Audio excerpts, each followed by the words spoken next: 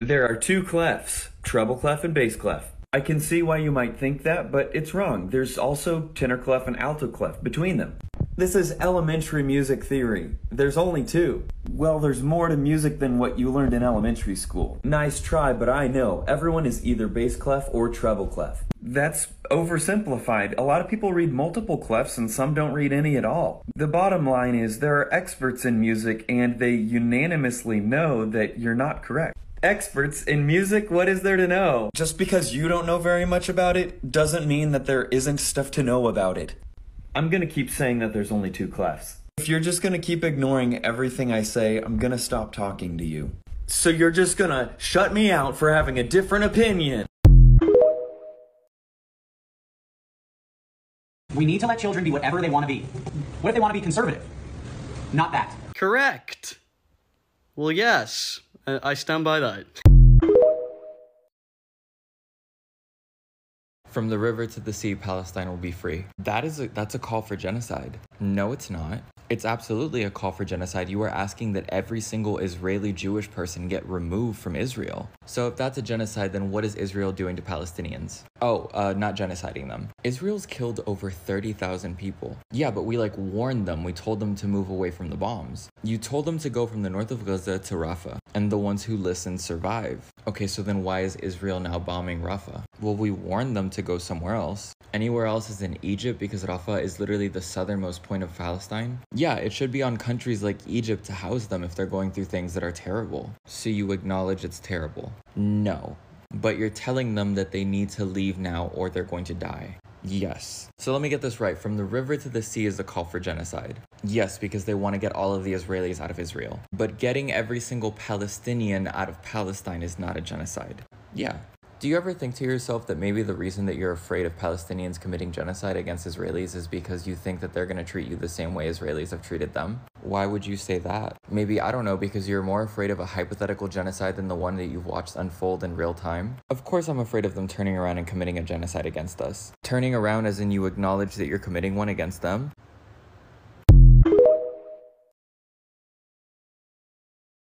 One, two. You're not weird for having feelings. Everyone else is for acting like they don't.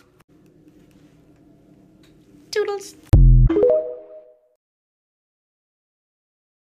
A lot of people, specifically white and upper class groups, tend to see graffiti as no more than vandalization and random words on walls. But let's talk about how graffiti's roots have always been in either art or protest and why there's a racially differing perspective of graffiti. Graffiti's origin started in ancient Rome where citizens etched messages onto brick walls, which created this new form of expression that then evolved into a tool for protest. Graffiti was used in the French Revolution to deface high-end art. It was used in South Africa to help demand the release of Nelson Mandela. The Berlin Wall was commonly used as a canvas for activism too.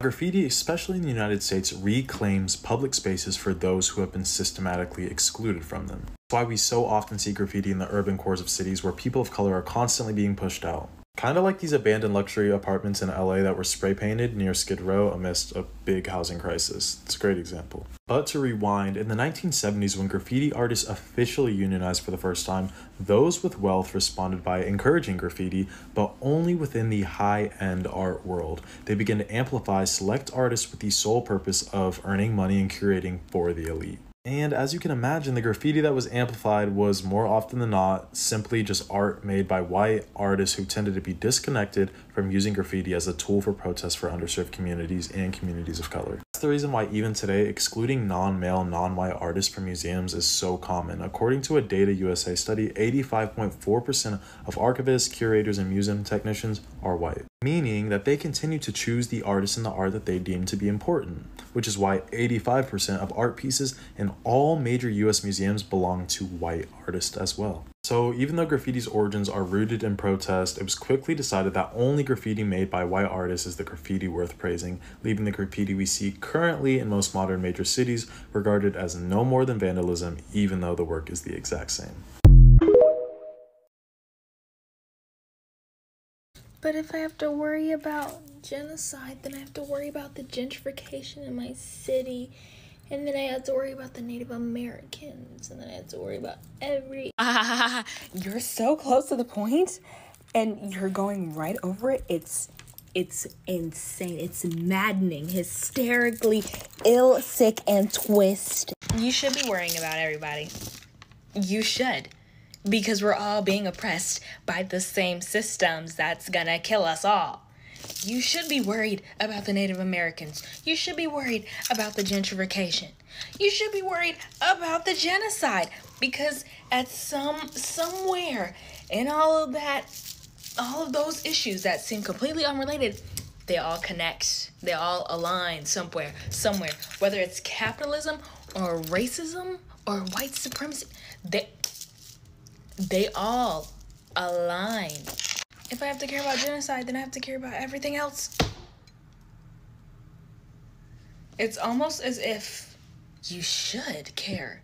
It's almost as if empathy shouldn't just be a one time thing for your favorite buddies or your favorite celebrities, your favorite singers.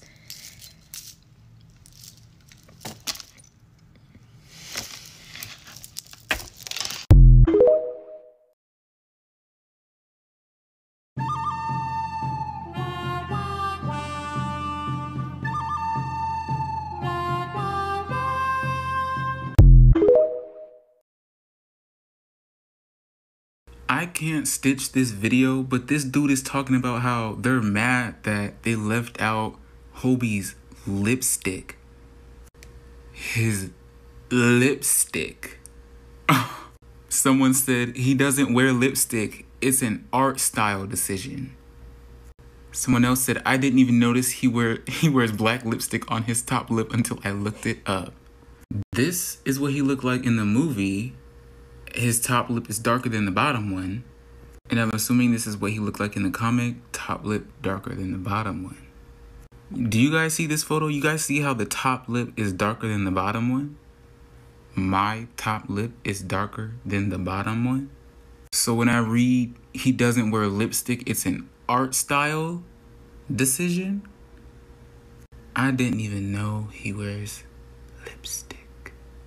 You've got to be kidding me. Ain't no way. Have you never seen a real Negro?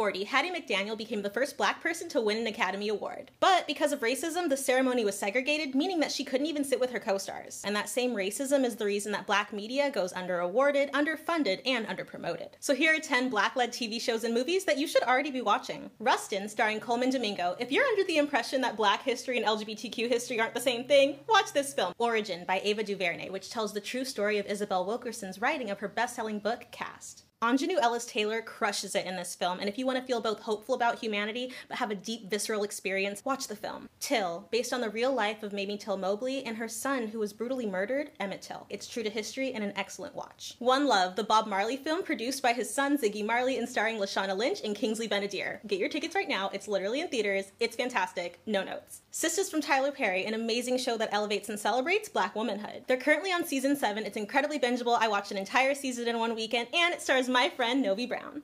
Abbott Elementary by Quinta Brunson. If you want to watch phenomenal television and also get a little slice of what it's like to be a teacher in an underfunded system, check out this one. Survival of the Thickest by Michelle Buteau. And it just got greenlit for season two. There's drag queens, there's celebrations of bodies. It's just good. Go see it. And we have black led television shows for the littles too. Lyla in the Loop out now on PBS Kids, Tab Time from Tabitha Brown, and from Snoop Dogg, Doggyland. It's worth watching just for the affirmation song alone. Shout out your favorite shows and movies in the comments below, and make sure to diversify your watch list. I don't think men just hate women. I think they hate femininity as a whole. And I think them more than any other demographic are transactional when it comes to their appreciation for other people. They have to have some sort of sexual arousal or some sort of relatability to the person that they're perceiving in order to treat them like a human being. I think all these facts are gone unseen by men themselves because they lack self awareness because the society is gun ho on blaming women for every single issue that ever happens in this world. Not to mention, most men are not even that tough. They're just extremely sensitive and they want to hide it behind the fact that they're just trying to uphold core values. Because why is another man painting their nails so bad to you? Why does it bother you so much? To me, that's pretty soft. Also, along with the fact that they have dark humor until the dark humor affects them, They're also hyper individualistic, but they want every man to act like them. If you don't wear the same shoes, if you don't wear the same type of clothes, if you paint your nails, like I said before, they come after you in the most vicious way possible. But at the same time, if you bring up real issues to care about, then they all of a sudden go blank. They don't want to spend the energy and time uplifting or protecting people. They want to spend time acting like everybody who doesn't act like them is somehow subhuman. And then when those same people call them out on their bullshit, they play victim and say that everybody hates men. No, it's just that your guys' ideology is so hypocritical and convoluted. I'll stand on the most trivial things and expect us to take y'all seriously.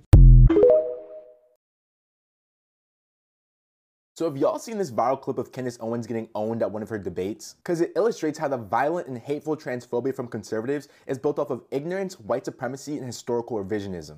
But um, can you explain to me what Two Spirit is in the history? I'm telling you that not only in one Native American tribe, but in multiple tribes, there were dozens of terms that referred to people that would now be considered trans, and that was hundreds of years ago. So I'm just wondering why you think that people are only trans now because the media is telling them to be. Well, I told you because of the proliferation. So you can't just go from having 0% to suddenly 25% But what of I'm people. saying is that these people were around Yeah. for thousands of years. Well, what you're saying is that some Native American tribes had people that would be considered trans today, People that something that we can't were fact check because they're dead. It's right? historical knowledge. It's historical documented. knowledge that there were trans Native Americans.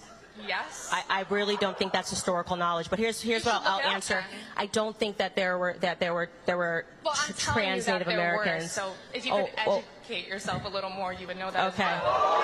I will educate myself. And to be clear, Candace Owens is completely wrong. Two Spirit refers to individuals who neither identified as men nor women since pre colonial times in North America, and their existence is very well documented. On top of that, Native Americans are not all dead, and many today identify as Two Spirit. Now, it's important to know that conservatism thrives on rhetorical attacks against aspects of society that are deemed new or recent, and also romanticizes aspects of society that are older or more traditional. As a clear example, Make America Great Again was the slogan for both Donald Trump and Ronald Reagan because it romanticizes the idea of upholding a set of traditional values from the past. But just to be clear, there's no inherent logic to this worldview, which is why conservatives were the champions of conserving things like slavery and Jim Crow.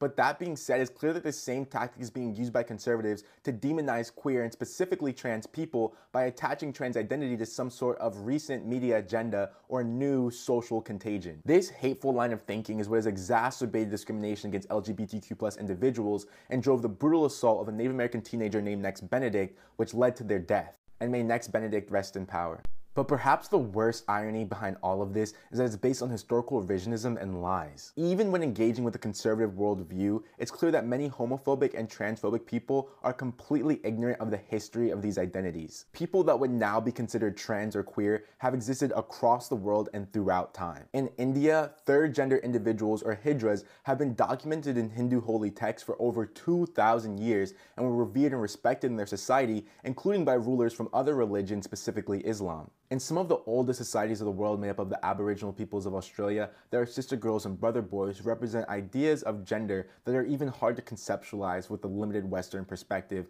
on the man woman binary. And last but not least, yes, Africa is a continent full of examples of civilizations that included people that did not exist within the man woman binary, including the Mudoko Dako of modern day Uganda and the Jinbanda of Central Africa, but there are so many more examples. In fact, PBS has a map detailing much of the gender diversity that exists across the world showing that no, queer and trans identities existing is nothing new. But what is more recent, however, is the transphobia and homophobia brought forth by colonization and imperialism that demonize and criminalize these identities. And what I find incredibly sad is that because historical revisionism and fundamentalism are so prevalent in colonial societies like the United States, some people who are woke on other issues actually believe that being trans is something new or some sort of novel deviation from the norm. The conservative superintendent of Nex's District in Oklahoma illustrates a perspective that many people have when he says, There's not multiple genders, there's two. That's how God created us. The left is undermining the very principles that made this country great, our Judeo Christian values and our traditions in this country. And even though he declares himself a lover of history, it's clear that the superintendent only knows history through a lens of white supremacy and Christian hegemony. Like Candace Owens, he must be completely ignorant of the vast gender diversity that exists and has existed across the world, otherwise, he would realize that this statement is just not based in any actual human history. The only credit I'll give him is that there is a clear analog between the work that he's doing and the work of the founders of this country. Because just as they sought to violently erase the cultural heritage of the peoples they subjugated, conservatives today are continuing to suppress and demonize identities that were openly expressed across many of our ancestors before colonization. But what do you think? Let me know in the comments and follow for more. Do you think Israel has the right to defend its borders? I think Israel has a responsibility to protect those that it occupies. I think you have to ask that question differently. Um, you know, uh, Noura Erakat uh, wrote uh, a tremendous article on this from a legal perspective. You know, when you talk about Israel defending itself, um, Israel is bound to occupation law. This is the problem all along. You know, when when when John Kerry said, of course, the, the U.S. is great sometimes at issuing inconsequential statements that Israel has to choose whether or not it wants to be a Jewish or a democratic state, be a Jewish or a democratic state, but it can't be both. Um, Israel wants to occupy and deny, and at the same time, not be held to the standards of being an occupier, but be treated as if it's some normal uh, state. Uh, those borders were drawn across occupied land and have been expanding into Palestinian territory, and people have been thrown out of their homes systematically and transgressed upon, even to the in the places that they fled to, which is Gaza, right? So when you talk about Israel having a right to defend itself, you should be talking about Israel's duty to protect everyone under its occupation. Either lift the occupation or protect everyone under your occupation. Uh, where are your borders, right? What what is uh, your responsibility? Who are you protecting? And I think that it speaks to the fact that Israeli policy considers Palestinians to be animals. They say as much and they do as much.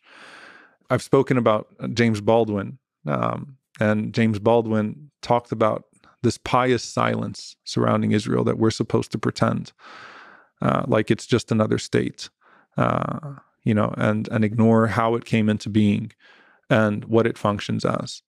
And I think that pious silence has to be broken. You know, I, I remember uh, Jon Stewart when he had the Daily Show several years ago, and he talked about this uh, policy of, uh, you know, we have to defend ourselves. And if if someone was attacking your home, what would you do? And uh, the response was, well, why are you forcing people into a closet? So you force people into this desperate situation. You you drive them out of their homes, claim their homes, and uh, then say that you're defending yourself against them. The default is that an occupied people have a right to defend themselves. The occupier is obligated to those that they occupy.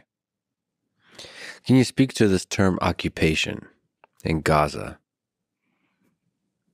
Because the people that say it is not an occupation say that Israeli troops have been pulled out from there before October 7th for many years. Yeah. And to you, it still is a de facto occupation. Israel doesn't get to set the terms and then define them. Uh, it is an occupation according to any uh, legal standard, international legal standard. Israel controls the movement of everyone in Gaza. It controls the air and the seas. Uh, it controls the ability to import or export the people that live in Gaza and the people that live in the West Bank, the Palestinians, have had their identity stolen from them. So there's the freedom of movement, there is the freedom of thriving, there is self determination. All of that has been stolen from the people of Gaza. There's no airport in Gaza that was destroyed by Israel as well. Uh, it is an occupation uh, at, at, at every level and by any meaningful legal determination. honest question, genuine question. Why don't leftists care about masking? Why aren't supposed radical, socially conscious people, why aren't they masking? Like, we're in a full on pandemic raging, disabling hundreds of thousands of people, if not millions. We care about liberation, but not for the disabled. I, I just I don't I genuinely do not understand the dissonance. We claim to care about communal safety, but like not about community when it comes to a virus that's spreading and acts like HIV in a lot of ways. COVID, it's a damaging virus. It's truly a damaging virus. And the denial and the passivity of leftist people in masking, I just I I can't, I can't grasp it, man. Our government has lied to us about everything, but they haven't withheld things about COVID. Like COVID's the thing that we can trust them on. I'm at a loss. I'm, I'm at a loss. I'm just, I just don't get it.